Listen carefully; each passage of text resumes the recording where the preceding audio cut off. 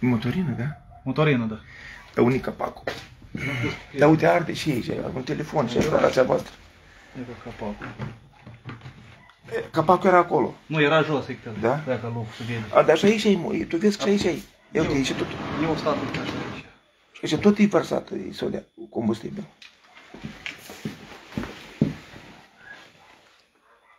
Nu, aici e ea. Da? Deci el, el a dus, a procurat, uite. E o strochetă acolo în dormitor. Deci uitați, suntem la familia Șchiopo Vasile. Aici e bucătăria. Am bani o lecție că sus. Iată aici, de la temperatură, cum s-a topit tot plasticul. Deci domnul Șchiopo a recunoscut că el a adus o canistră de motorină, dintre care jumătate o aruncat-o, vedem în spate și ala, o aruncat-o în dormitor. Bate aici, sus o leacă. Deci aici e o cameră, fugi și temperatură aici, băi. Și treci tu în față. Și iată aici, aici a fost, aici a fost aruncat, aici a fost focarul și a explodat, uh, geamul a explodat, așa -i? Da. Uite temperatura aici. De aici totul ars. Deci el a recunoscut, o semnat declarați proprii răspunde că el, pe motiv că soția a plecat în Italia, el s-a răzbunat. Gata aici. Gata, aici.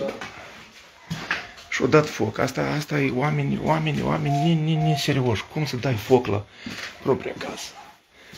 Iată încă o dată sursa, pentru că noi vrem să documentăm, fiindcă în cazul când sursa și e foc intenționat, noi nu putem să restim prejudiciu. Înseamnă că el și asumă toate responsabilitățile. Să Doamne ferește oameni buni.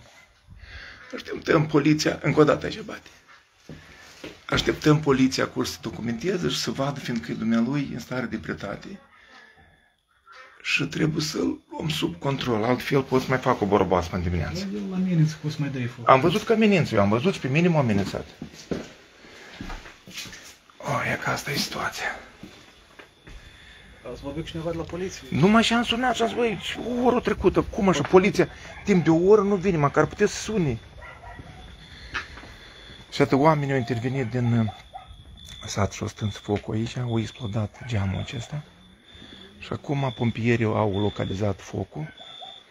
Și acum așteptăm intervenția poliției să documentăm aparte. Așa că vă doresc o seară bună.